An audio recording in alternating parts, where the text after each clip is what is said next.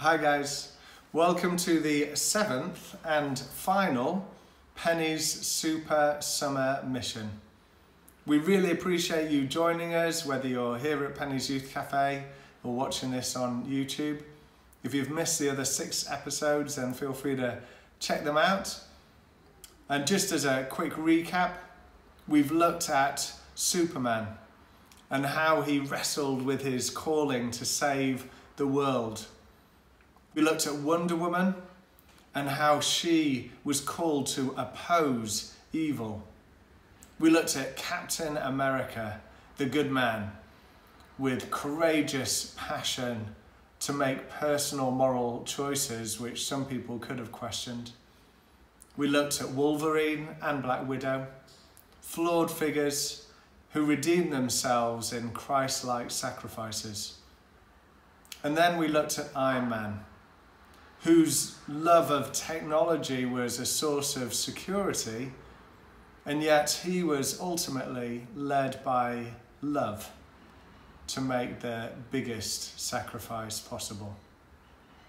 And now, today, we wrap up with the greatest superhero the world has ever really seen. So, let me hand over to John to tell us a little bit more about Jesus.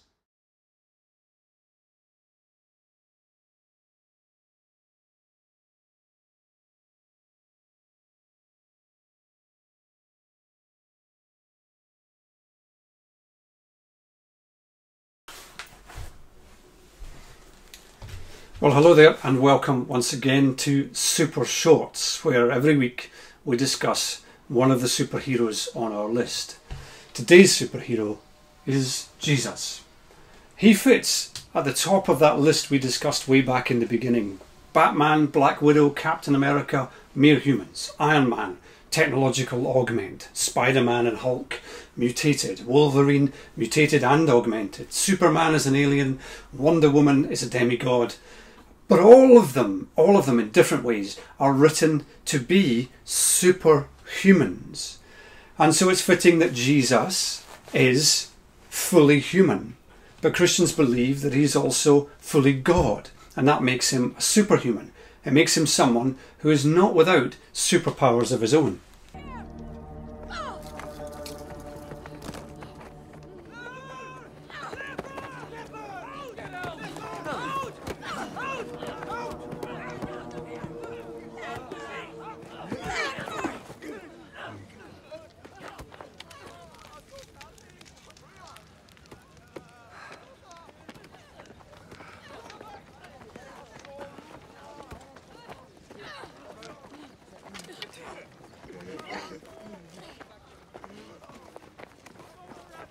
He's going to do it.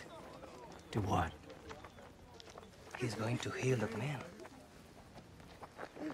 How? Watch. Just watch. No one touches me. A miracle. We saw them many times, Roman.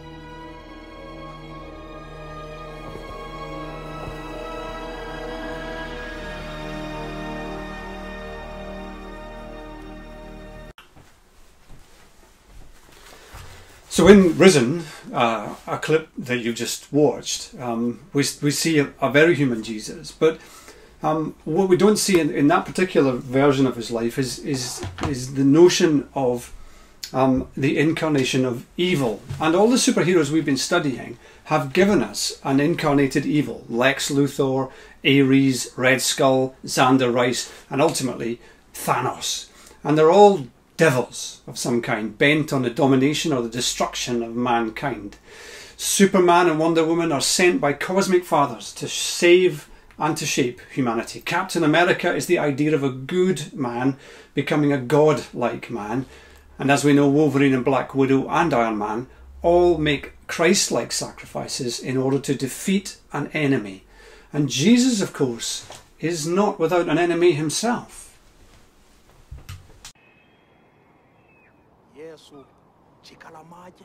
cabe a zizonga.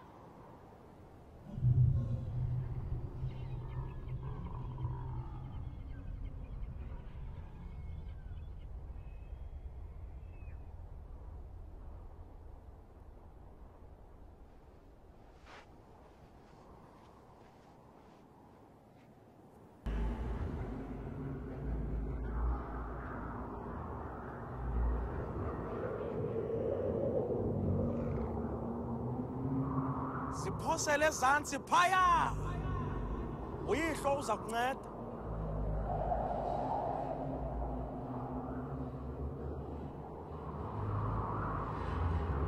zonke ezi zinto ingazezakho xa wena unokuthi uqubude phambi kwam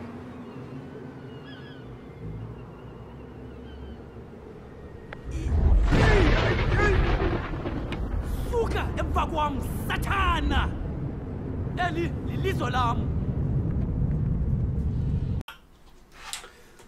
You see, the thing is, when we look at Jesus in these kind of contexts, we can draw a comparison. Superman, Wonder Woman are non-humans. They are they come from from without, but they always offer themselves in perpetuity to support the existing human race. Captain America is the idealized human, but he will always have to make and hold moral judgments in perpetuity and conflict in order to support the existing human race. Black Widow and Wolverine, both very fallen human beings who will always be human beings seeking to redeem themselves in order to save the other. And ultimately, Iron Man, humanity made godlike by technology, will always use technology to save us. These, and many, many others like them, are actually a mashup of influences, but the ultimate superhero source material that they are drawing on, the ultimate genre that they appeal to, is the Christian story of fallen humanity and its salvation. They prove themselves most worthy when they are found dying in our place. And that is a principle that has been burned into our consciousness for centuries, and it's been burned there for a reason.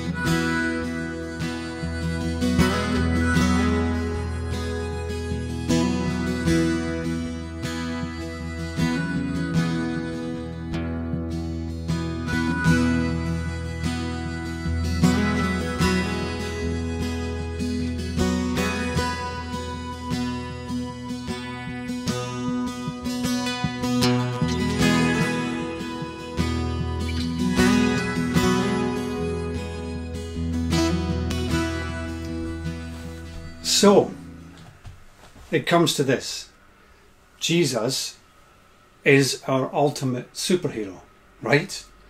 Sent to earth, superpowered, fights evil, sacrifices self.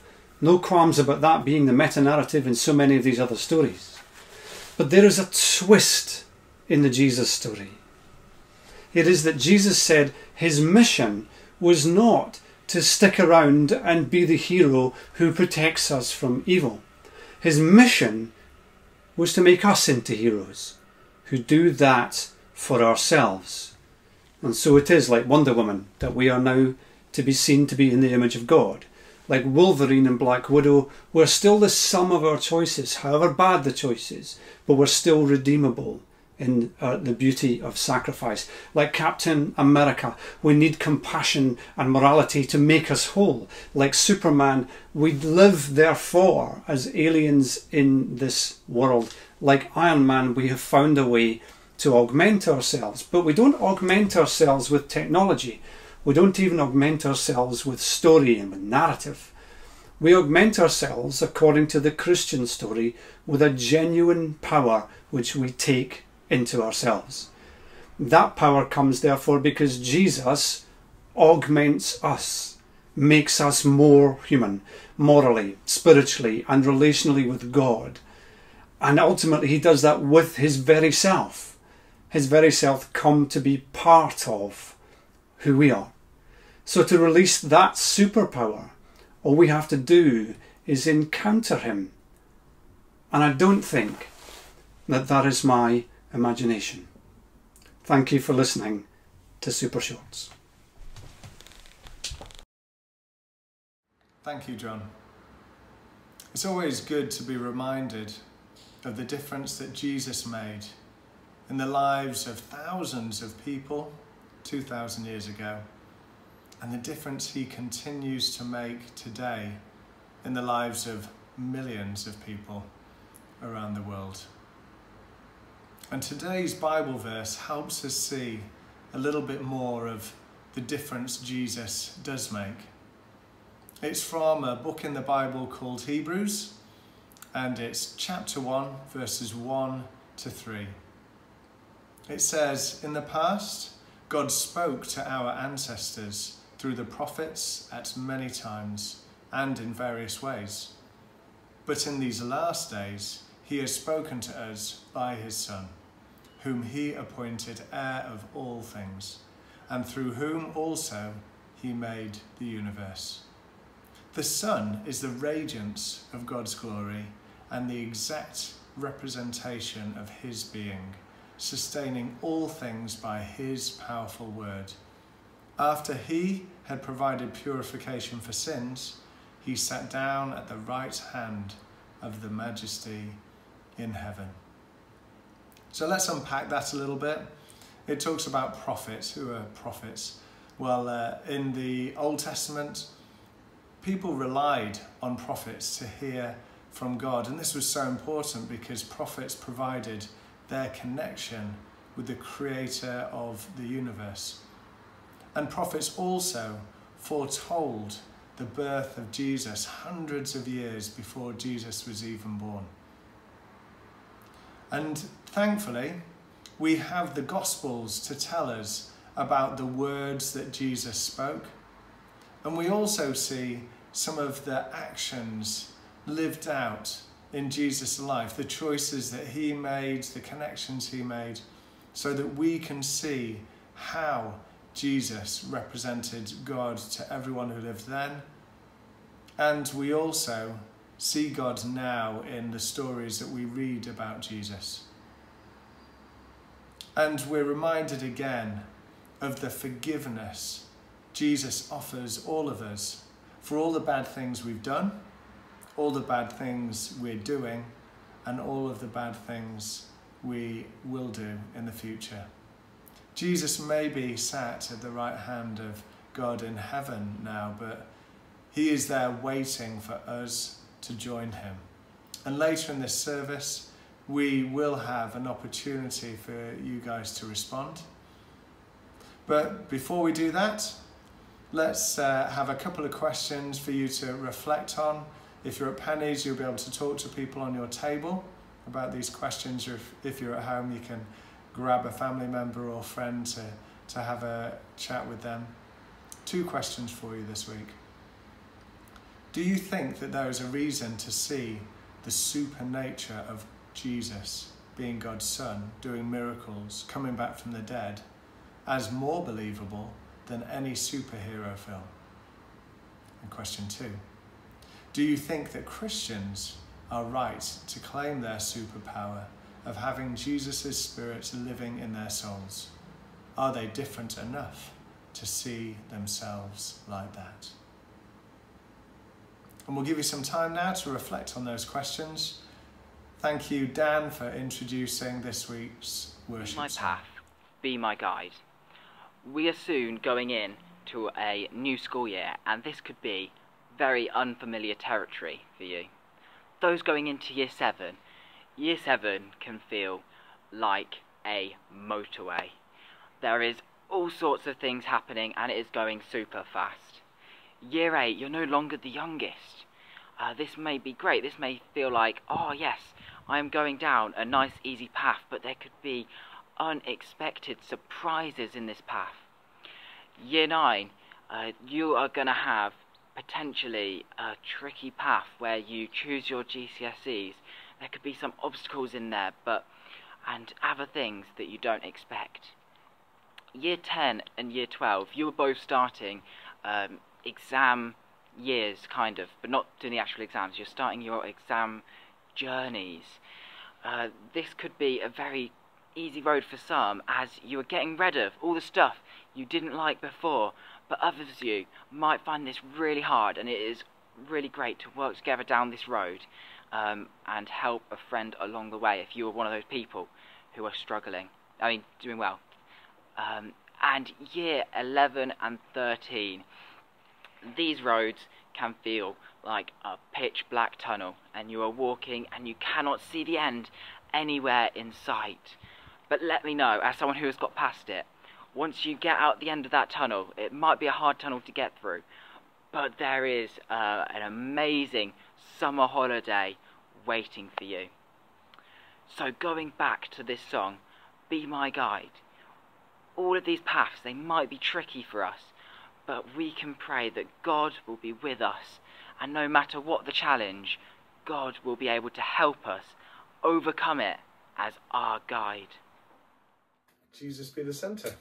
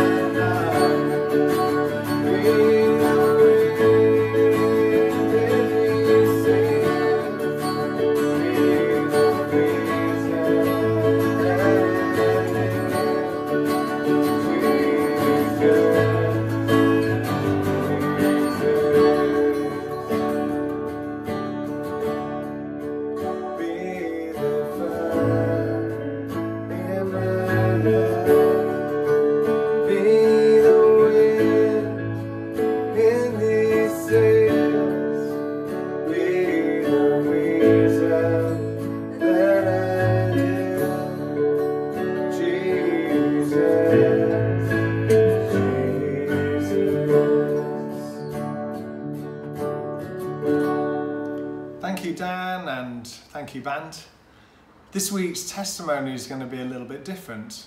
It's going to be our testimony. And I'm going to start by telling you a little bit about how Jesus became real to me. I didn't grow up in church. In fact, when I saw the church in our village, I kind of assumed it was a cold, irrelevant building full of irrelevant people worshipping an irrelevant God.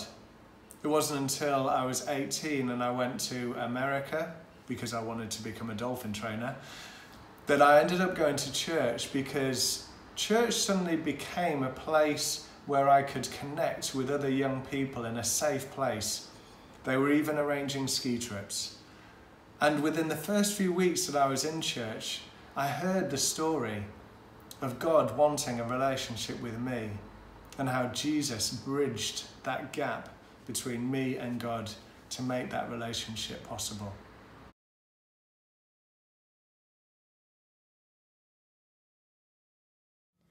When you first encountered Jesus as a real thing, how did you act on that?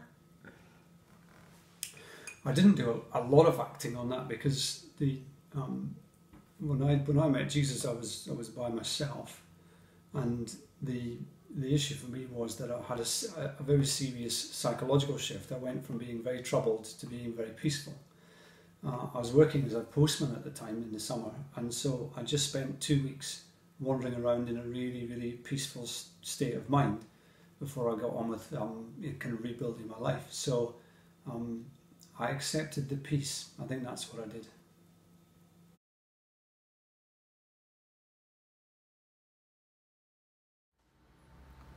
Now, I might have made my initial decision over 20 years ago to believe in Jesus and give my life to him, but he continues to have a massive influence on my life decisions each and every day.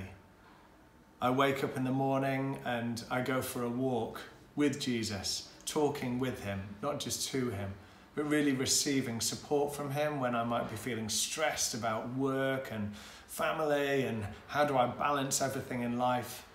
He helps me see things from a different perspective. He leads me, he guides me through daily decisions as well as bigger decisions in my life and the lives of those people I love.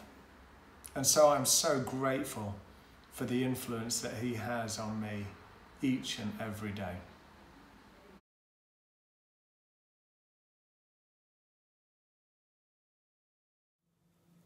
Why does Jesus interest you personally? I think that Jesus interests me personally because I became a Christian through reading the Bible um, uh, for itself, and because I feel like I had been misled for about 21 years as to who Jesus was. When I finally read about him and saw who he was, he was fascinating. He was amazing. He was really cool. He was not at all what, like what I had been told, um, and he has interested me at that level and deeper ever since.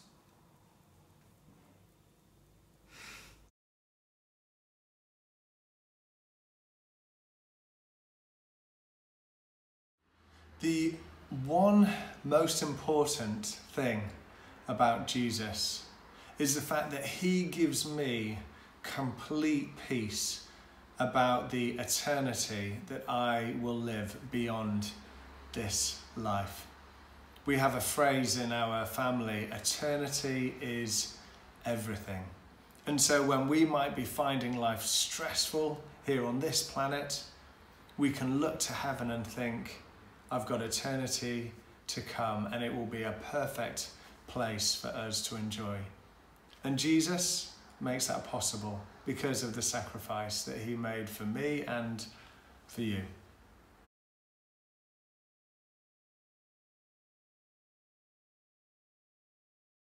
If you could advise a young person on encountering Jesus, what would you say to them? I think I would say um, don't believe the hype um, accept no substitutes. Don't take somebody else's idea of who Jesus is. Um, find out for yourself. And the best way to do that, absolutely the best way to do that, is pick a gospel, Matthew's gospel, ignore the list of names at the start and read it in one sitting. And what you'll find in there will surprise you, I guarantee it.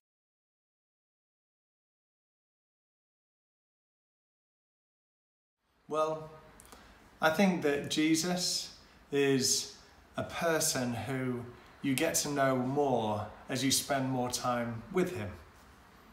And thankfully, the Holy Spirit allows us to have that connection with Jesus. So each day, as we choose to walk with him and, and talk with him, he helps us get to know him better. Another great way to know more about Jesus is through reading the Bible. And particularly the Gospels tell us all about the life that Jesus led, the words that he spoke, the choices that he made, so that we can look to follow in his amazing example. And if you're here at Penny's, uh, then we have a gift for you because we really want for you guys to get to know Jesus better.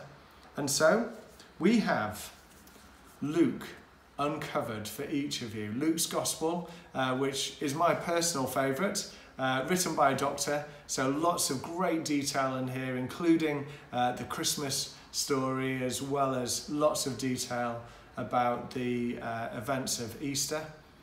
And if you're not here at Penny's but you want one of these, then please get in touch with us and we will be sure to get one to you. So, this is a great way to get to know Jesus better. And the other way is prayer. And so, Nick and Karen now are going to tell us a little bit more about what prayer means to them. Over to you guys.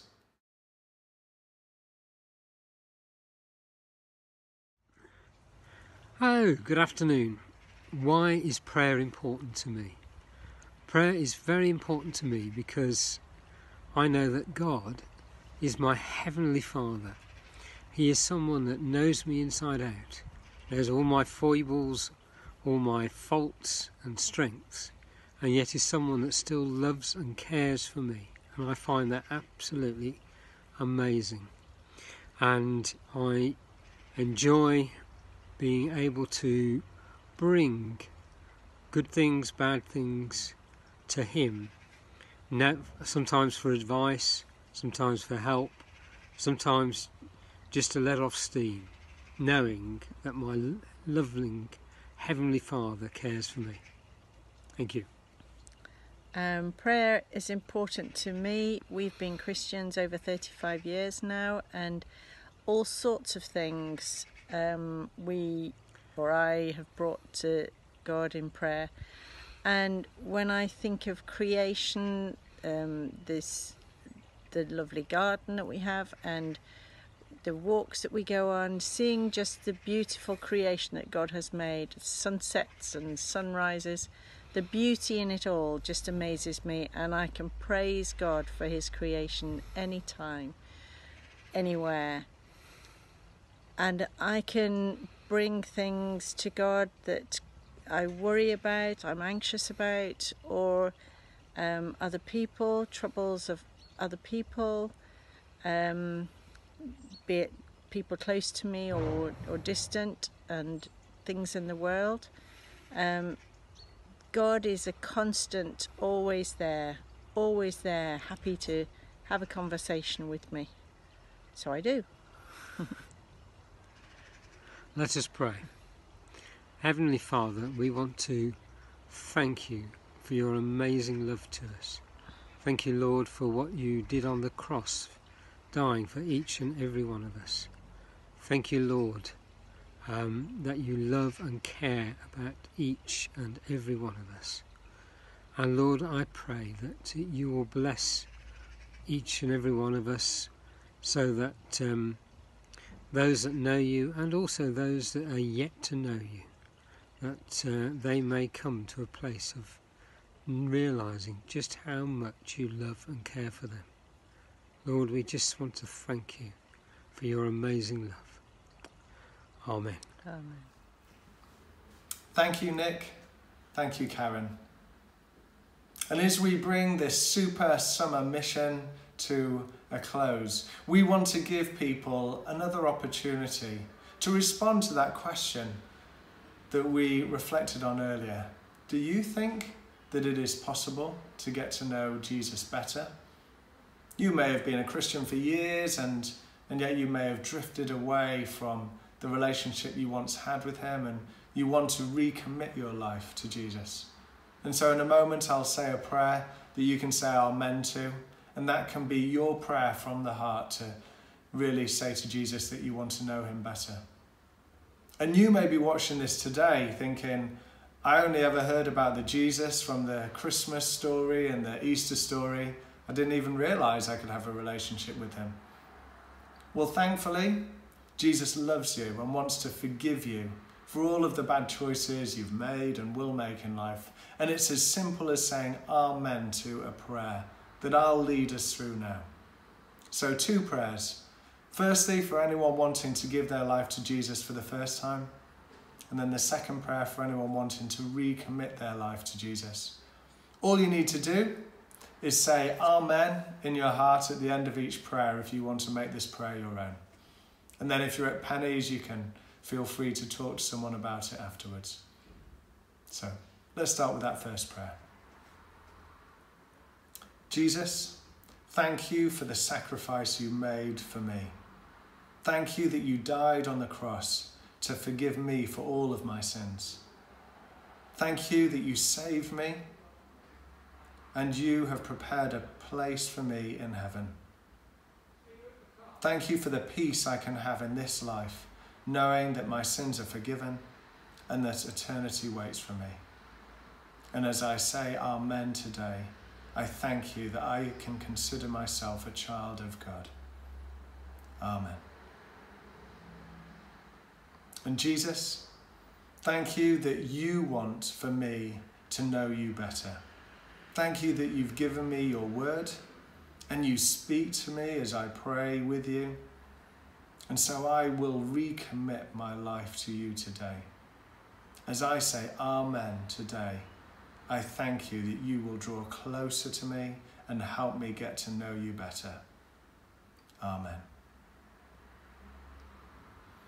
Thank you, guys. And again, if you've said that said that prayer for the first time uh, today, then please let us know. Stay in touch with us and do let us know if you are not in Penny's and want one of these uh, Luke Uncovered. And we look forward to seeing you at Penny's in the weeks ahead. The next slide will tell you when the next events are taking place. So thank you for going on this journey with us. Thank you to the whole team who've made this possible. Thank you particularly to John, to John, to Ben and Johnny and Dan. And we thank you again for joining us. God bless you. Bye.